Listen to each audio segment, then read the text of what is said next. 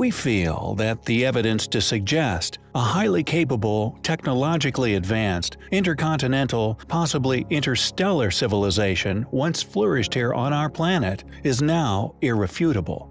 The questions we now feel need answering do not now regard whether they existed, but surround their true origins, actual age, and indeed final destination.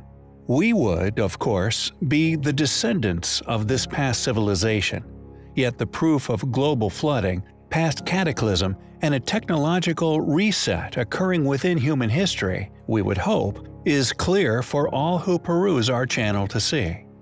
With such an event experienced by a civilization, once capable of lifting and building with unimaginably huge megaliths, one would presume that post-event one would encounter primitive dwellings, yet built partially with these now dwindling technologies, which would eventually become lost knowledge.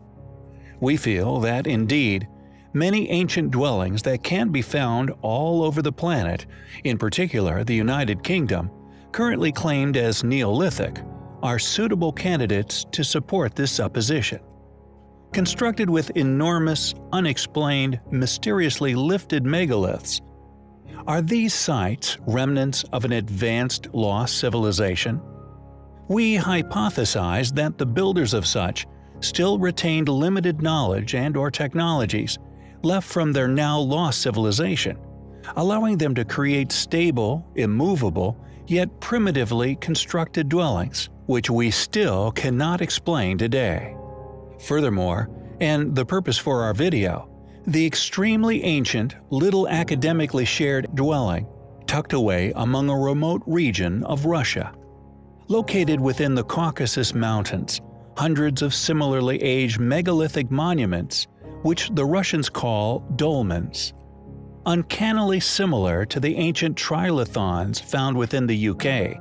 However, it seems that these remaining remnants, possibly of the same lost civilization, still possess something which allowed them to carve perfectly spherical holes through enormous megalithic stones. Just what were these ancient people using to create these ancient structures? Or indeed, the perfectly cut spherical doorways within? Who built the ancient dolmens that can be found dotting Russia? the ancient trilithons found dotting the United Kingdom. Are these structures, as we have suggested, remaining relics left by a civilization who had just experienced drastic cataclysm? If this is not the case, why do they possess characteristics indicative of lost knowledge, yet appear to be of such a primitive design? We find our hypothesis and the supporting evidence highly compelling. How did a lost, global civilization once cut solid stone with such ease and precision? Unimaginably large megalithic structures, laser-like cut stones, utilized within the baffling, polygonal masonry, not to mention the mystery surrounding the construction of the Great Pyramids. Many mysterious drilled stone cores can be found throughout Giza, these enigmatic tool marks can also be found at the incredibly ancient dolmen of Volkonsky in Russia, exposing the capabilities and clear technological prowess that this lost civilization, who we feel were possibly experiencing an ice age, had left in order to survive its fallout. Yet I digress.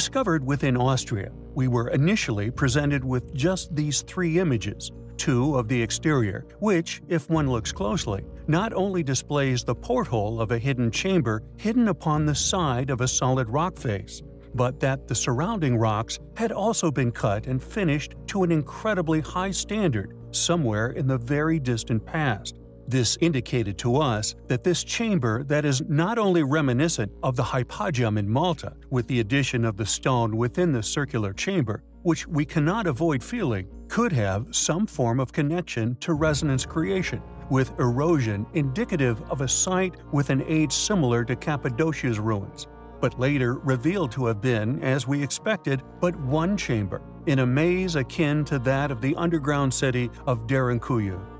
Hidden within an Austrian book of antiquities, we discover a series of fortunately mapped, solid stone cut chambers which litter this enormous chunk of exposed bedrock. Clearly an astonishing prehistoric site, one cut by an incredibly capably, and we feel, clearly technologically advanced civilization.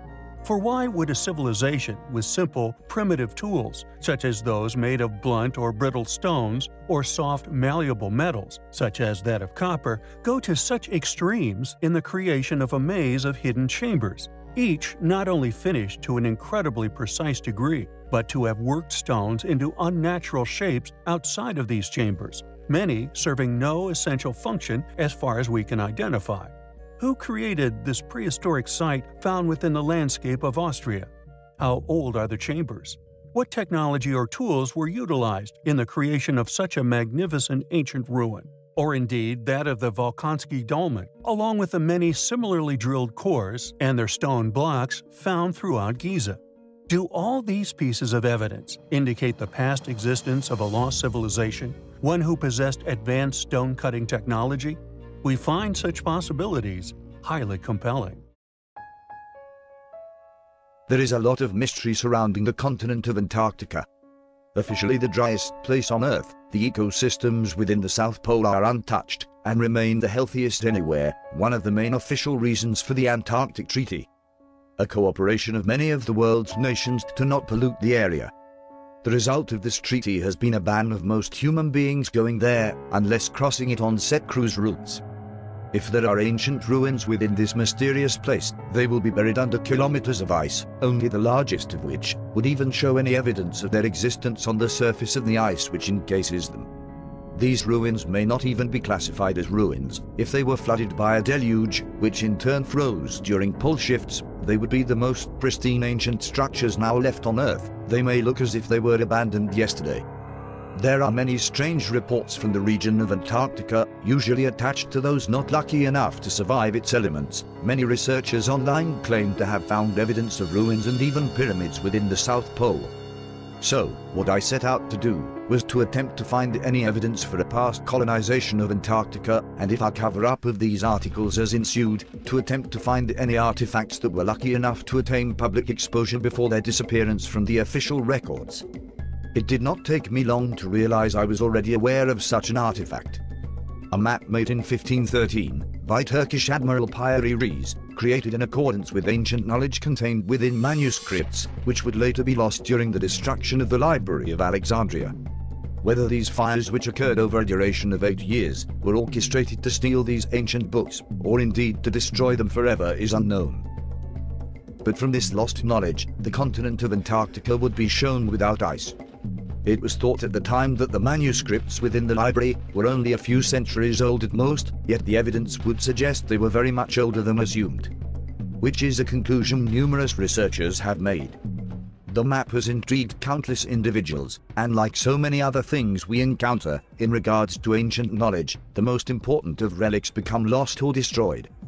However, the map is a surviving remnant of this vast mountain of intellectual wealth. It is the smouldering amber of proof needed to confirm such knowledge has existed before, and that the shores of Antarctica were known well in the very distant past. If the map displays the shorelines of Antarctica before it was covered with ice, and it is displayed more accurately than Brazil, then it is not a large leap of the imagination to suspect that ancient ruins, dating back to the time of this knowledge, do exist on the Antarctic continent. And while we have ancient pyramids, declared as existing on all continents of the planet, apart from Antarctica, you begin to doubt that Antarctica is an exception after all. It could be home to the largest, with the southern tip of the world encircled by the stars, it may hold the most amazing ruins on Earth. And with it being a place that only recently have we been able to explore extensively, you have to wonder what other artifacts may be preserved in the ice, what objects may have crashed in this desolate place during the last few thousand years, just waiting to be reverse engineered. So how does such a smoking gun, such as the Piri Reis map, survive for so long? While throughout the centuries all the source material has been engulfed with flames around it.